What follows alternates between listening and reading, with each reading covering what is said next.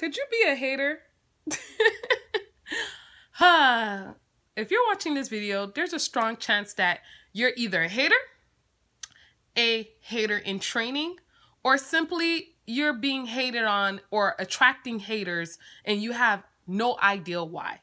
Well, stay tuned. I got seven signs and reasons that you could possibly be attracting haters. Before we even get started, let's find out what is a hater.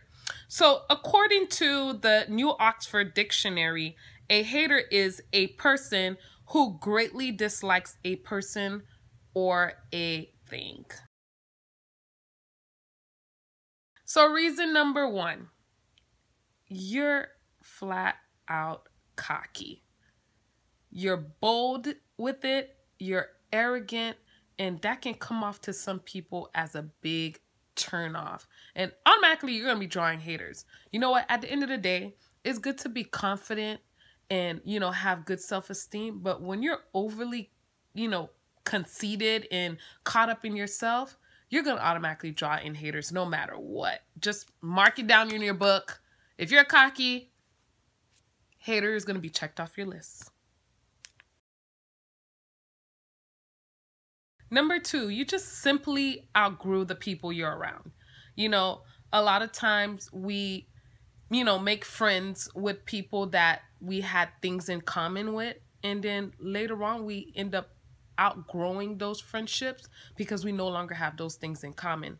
Example, if you and your homegirls used to always hang out and go to the mall because you had no job and, you know, do each other's nails and pedicures and, you know, laugh, joke, stay on the phone till midnight and, you know, just basically doing nothing. And one day you decide, you know what? I want more for my life. I want to be able to make some money. I want to be able to climb up the ladder and I'm going to get a job. And you go out, you get a job and you bust your butt, you get the things you want, you outgrow that friendship. Why? Because your friend stayed stagnant. They chose to not go get a job. They chose to continue the things to, to do the things that you guys no longer have in common or you no longer have in common with them. And now they're calling you a hater because they're saying, "Oh, now that she has a job, she doesn't see anybody." Or now that she has money, now she thinks she's all that you know what? You're hating because you know what? I have things that you wish you had, but yet you don't want to work for it. Or you simply just misery loves company. You want me to be sitting around like a no life, low life, just like you. Nah. This might come as a shocker, but number three, you're a self hater you have no confidence in yourself and you beat yourself up about things that are irrelevant to what makes you beautiful and what makes you great. Everyone around you can tell you, oh, you look so beautiful. And you're like, oh no, I'm fat. I don't think so. It's like, what? Someone gave you a compliment. Whether you think so or not, you need to take it for face value that someone else told you that you look nice. Take the compliment and appreciate it. And if you don't believe in yourself, at least let other people believe in you. But don't bash yourself and definitely don't bash yourself in front of others. The more you have lower self-esteem and you bash your own self and you know you downgrade the qualities that other people see about you that are good, guess what? You're going to draw haters because you know what? You hate yourself. You don't even appreciate your own self. So why would anyone else appreciate you? Why would anyone um, care to like? They might as well just join you in being a hater because you already a hater. You know what they say? Birds of a feather flock together. And if you're a hater to yourself, you're gonna draw other people who hate you too. Number four, you're a people person. People just naturally gravitate to you. You know, you get along with everybody. Um, you make friends with everyone, and people just naturally love being around you because you you have such an aura that draws people to your positivity and your positive thinking and you you draw haters because of that because you know what people who don't have positive vibes and people who don't have the peace that you have and the calm that you have will hate on you because you know what? They're not able to keep their poise like you do. They're not able to naturally have people gravitating to them like you do. So they're going to hate on you because simply you're naturally an all around person. You're ungrateful. That's number five. Let's talk about it. You might not think that being ungrateful will draw haters, but believe it or not, if you're not grateful for the things you have, people are not going to like you for that. They're going to feel that, you know what? There's a lot of people who don't have what they what you have, but yet you're complaining about it. You have a great car. Mercedes Benz, BMW. Oh, this piece of crap, I need a new car. What? There's people out here skateboarding, walking to work, and your Mercedes is a piece of crap. Wow, ungrateful. You have a husband that loves you, but yet you're complaining because he didn't want to take the trash out and you find him to be a piece of crap. Wow. Okay, ungrateful. There's people out there who are still waiting for their spouse. Wow. And then you have a job that pays really well and is able to support you and your family and is stable. But yet you're like, oh my gosh, I can't stand this job. Ugh, I wish I didn't have to be this and that. I wish I didn't have to be a lawyer. I wish I didn't have to be a nurse. I wish I didn't have to be a doctor. This job is just way over the top. I can't deal with it no more. But yet there's people who's doing minimum wage wishing they had the capabilities to do your job. You're ungrateful. You're going to draw haters. And you know what?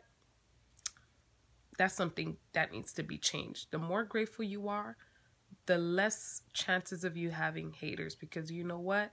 When you're not grateful or you don't realize the blessings that you have, people will tend to hate on you because they feel like, you know what? You're never satisfied.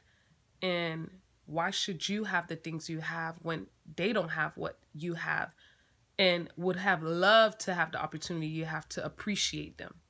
So that's something to work on, being more grateful. You're not going to want to hear this, but you're selfish and you know it. Number six, selfishness. You are a receiver. You're always on the receiving end. You don't give up your time. You don't give up your money. You just take, take, take, and take. You juice people of their energy, but you never give. You you don't you know what? I'm not the type of person who will give out money, but I'll definitely give my time. If you need me somewhere, if you need me to be at a party, if you need me to have a chit chat girls' night out, if you need us to go have lunch together, I'll use my time as my money because you know what? Time is money. I might not give you no money, but in that sense, I'm a giver because I'm giving you my most valuable thing, which is my time. Now, there's some people who don't give up their time, but you know, they're gift givers. They love to give gifts. They show their appreciation in different ways. And that's understandable because everybody show their appreciation in different ways. But if you're the type that you never show appreciation at all for what others do for you, but yet you're always receiving, it gets old. And after a while, you're going to create haters and people who resent you for being around them and being their friend, their family member, their spouse, because they feel like they're underappreciated because you never give. And I'm not saying that, oh, when someone does something for you, you have to feel like you need to give. But there's a time and place where once in a while that you show your appreciation, whether it be your time, your money, your attention. Sometimes it's good to be on the giving side Giving is more beneficial than receiving, I'll tell you that much.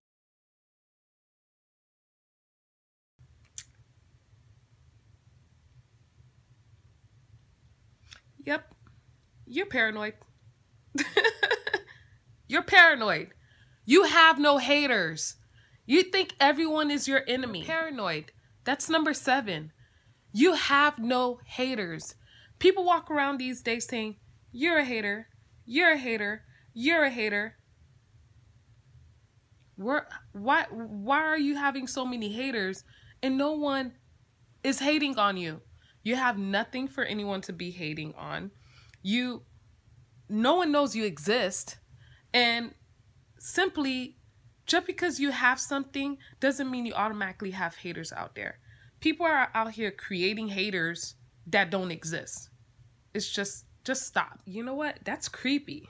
You know, when you're walking around, you know, making assumptions that you have haters all over the place and you're being vocal about it, people are going to look at you like, well, who's the hater? It's not me. But I don't know where you get this obsession with thinking that you have haters, but yeah, you need to really start really evaluating your thoughts and, you know, the things that are going on around you that's making you feel like you have a hater. Or simply, it could just be that people just like to say that they have haters because it makes them feel special. Either way, before you start calling people haters around you, please have some valid proof and some confirmation before you start accusing people of haters. And you know what? Sometimes you can feel that someone is a hater, but you can't pinpoint it in those situations, it's kind of best to keep it to yourself because nothing is more offensive to call someone a hater who's not hating at all. So be careful who you call a hater. So let me get this straight. You watched the whole video. You appreciated the seven reasons why you may be attracting haters, but yet you still haven't hit the like button. You still didn't subscribe. You didn't hit the notification bell. So you know what I call that? A hater. I'm joking. But either way, hit the like button, subscribe, hit the notification bell if you want to hear more of my videos. And also, if you have any comments regarding uh, the video, if you felt like some of them was wrong, some of them were valid, or you've actually encountered some haters in totally different ways, let me know. Let's talk about it.